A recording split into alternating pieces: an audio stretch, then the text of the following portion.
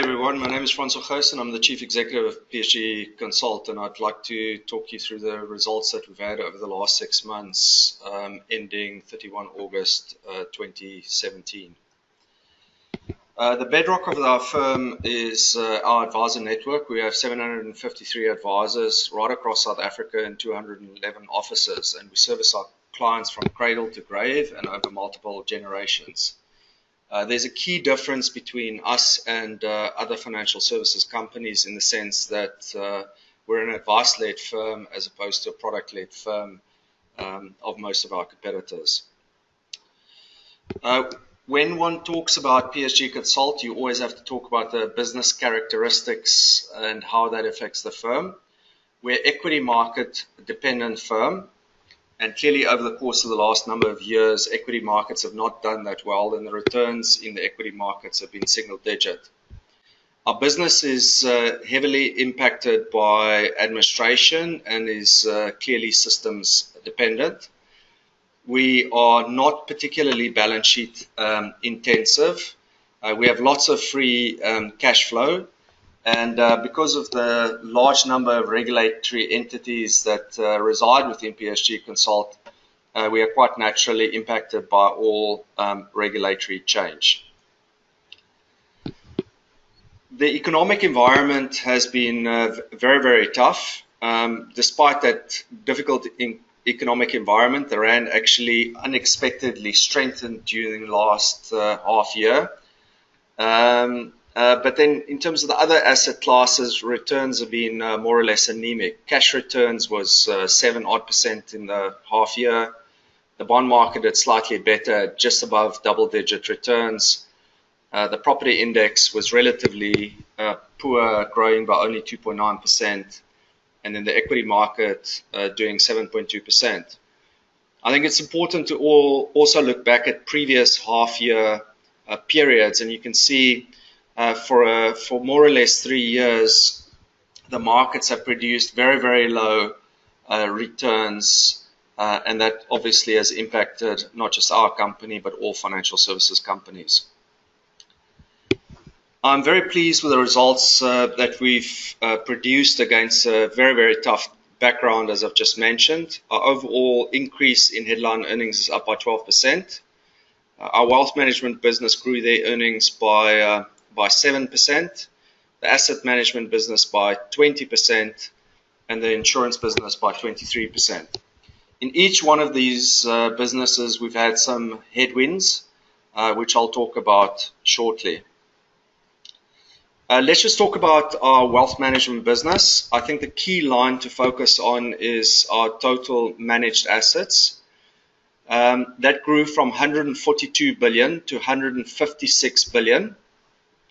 Uh, we were aided uh, to some extent by the market, but then, of course, we've had very strong uh, net inflows of almost 5 billion rand uh, during that period. Uh, the other numbers there reflect non-discretionary or custody assets and third-party assets, uh, which is managed um, by the firm, leading to total assets in the firm of 300 um, and 37 billion of assets starting the year off and growing through to 360 odd billion. I think that makes us, uh, on a total asset basis, one of the largest uh, wealth managers in South Africa. Uh, but even so, our market share is relatively small. We think that market share is in the order of about three or so percent, uh, which means that the firm has got a lot of runway ahead of it. Just to put the flows in uh, in context, um, our flows, as I've mentioned, it was five billion uh, rand, uh, which compares to the previous half year of also uh, roughly uh, five billion rand. Uh, but again, one needs to look at this against a very very tough market backdrop, and I think I'm very pleased with with the results that we've achieved against that market backdrop, and it's testimony to the quality of our advisors, but also the growth of advisors that we've seen um, over the last number of years. Uh, just to talk about those uh, advisors, um, in the last half year, um, our advisors increased by 12, um, from 515 to um, 527. and you can see that over a very long period of time, we've ha had very consistent growth in terms of our overall advisors. But what I'm particularly pleased about is not just the growth um, in advisors, but also the quality of advisors that are joining uh, PSG.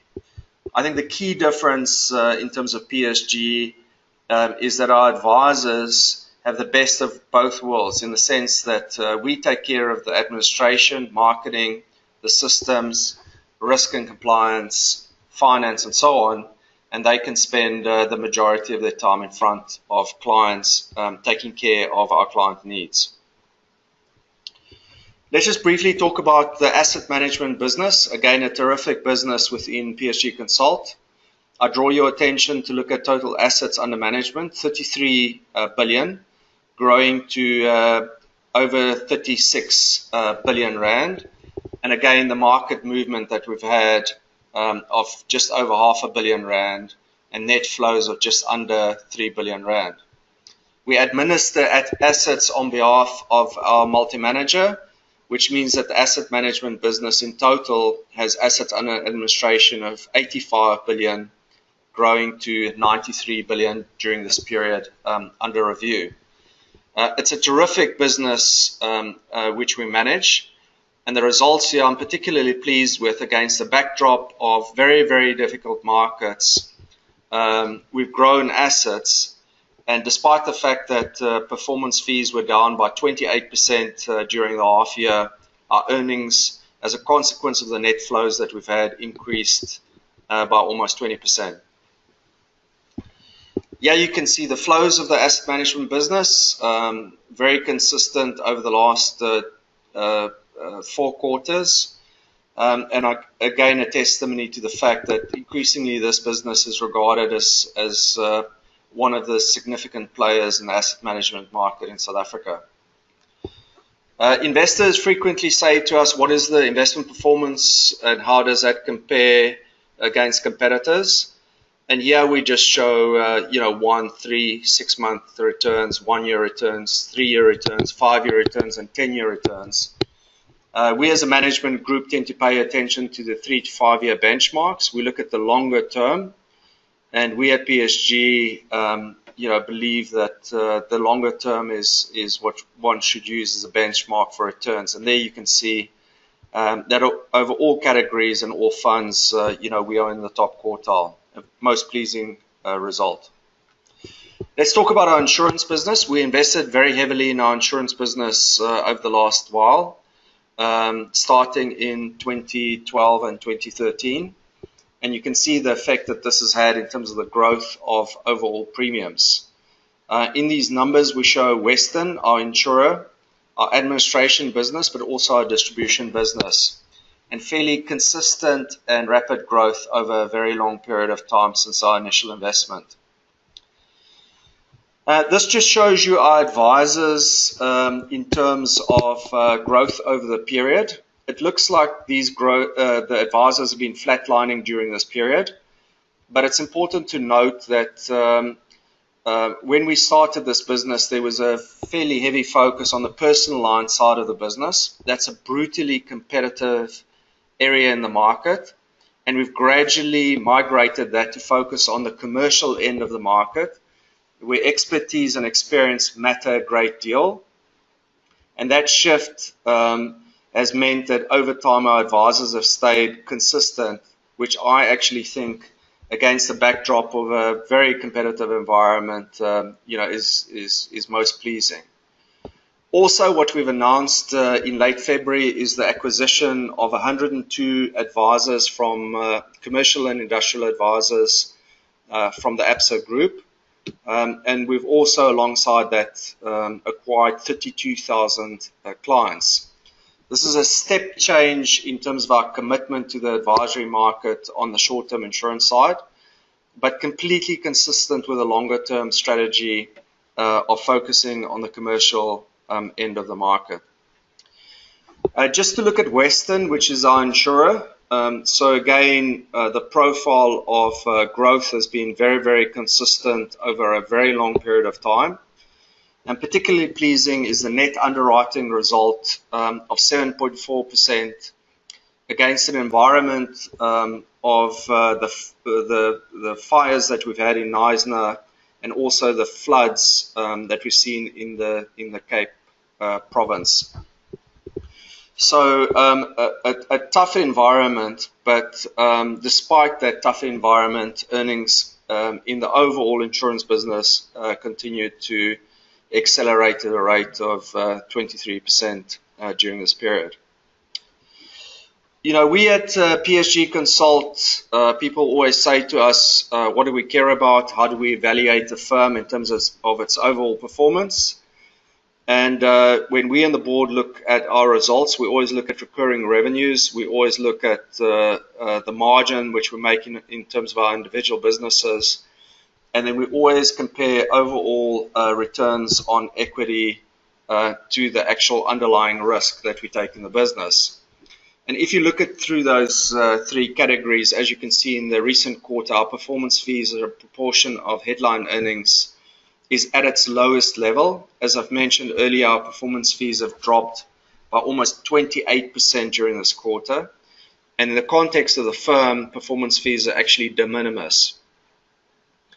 Uh, in terms of operating margin, in a very, very tough environment, our operating margin uh, increased from 14.3 to 14.4 percent. And even if you take out performance fees, um, the actual operating margin increased from 13.5 to 13.8. And I think that um, goes to um, great credit of our business model, the advisors that work in the firm, and of course also to management who've uh, operated um, in these conditions and yet continue to um, increase our margins. And that, of course, is also true in relation to the cost to income ratio, which is reduced from uh, above 63% to, uh, to virtually 62%. I think these are most pleasing results, and I think the board is, well, the board is very pleased with them. And then finally, in terms of uh, return on equity, uh, the retention uh, in terms of earnings is roughly 60% um, in any uh, given period. And despite the retention of a large component of our earnings, the return on equity has maintained a level whether um, we look at it with or without performance fees above uh, 20%, which is a result that uh, you know we are uh, most pleased about. So in conclusion, I mean, I think it's a it's a very solid uh, set of results from PSG Konsult, which has um, been the hard work of uh, many different people, um, including our advisors, uh, the loyalty of our customers, and we as a management group and a board of directors are completely committed to continue to invest in all of our businesses and to deliver an excellent outcome, uh, not just for our shareholders, but also for our individual uh, customers. Thank you very much.